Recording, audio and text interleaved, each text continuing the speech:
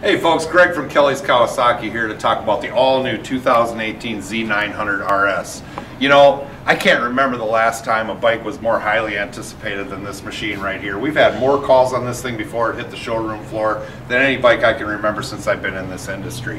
In 1973, Kawasaki came out with the all-new Z1. It was the one of the first, not the first, but one of the first inline four cylinder bikes and really set the industry on its ear. It was the fastest motorcycle of its time and spawned a whole line of inline fours which became an industry standard. This bike right here takes you right back to 1973 with its retro styling but yet it's got modern technology. It's got 36 millimeter Keihin DFI. It's the four cylinder, like I said, 948 cc.